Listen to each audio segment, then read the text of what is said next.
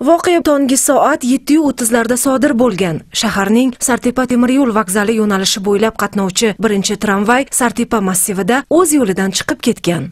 Varlor rusumli 1005 raqamli tramvay vagoni Buyuk Ipak yo'li ko'chasi bo'ylab harakatlanib kelib, mana shu Turkiston ko'chasi bo'ylab harakatlanib kelayotgan vaqtida yo'ldan tosh chiqib yo'nalishini yo'qotganligi sababli mana shu temir tunukaga kelib urilib, yo'l transport hodisasi sodir qilgan.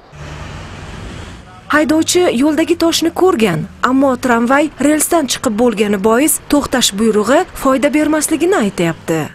relsdan chiqqandan keyin mana bu massa ishlamagandan keyin tormoz ishlamaydi odamni shuni hisobiga tortib ketdi tramvayni ichida konduktor bor edi keyin bitta stajyor bola bor edi e keyin bir ikki uchta passajir bor edi hech kimga bo'lmadi Samarqandda tramvaylar bilan bog'liq bunday holat birinchi marotaba sodir bo'lmayapti. Bundan oldin ham tramvaylar ikki bor o'z yo'lidan chiqib ketgan bo'lsa, iyun oyida relsdan chiqib ketgan tramvay avtobusga urilgan edi. Samarqand tramvay liniyalarini ishlatish korxonasi bosh muhandisi ketma-ket kuzatilayotgan bu holatni shahar yo'llarida tramvaylar uchun moslashtirilgan relslar emas, temir yo'l poyezdlari relslari o'rnatilganligini aytayapti. Temir yo'l izlari tramvayga javob talabga javob bermaydi. Ular relsi 65 55 bo'lishi kerak.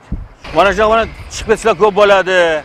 Keyin strelka degan narsa bo'ladi. Tramvayda o'tirgan joylar shular talabga javob bermaydi. Ular tramvay uchun emas poyezd uchun qo'yilgan rels.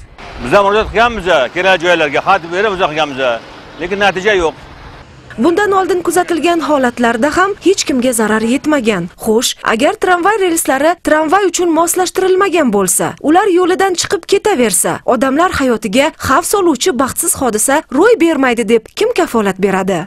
Ayni paytda temir devorga borib urilgan tramvay tramvay yo'llarini ekspluatatsiya qilish direksiyasi korxonasiga keltirilgan.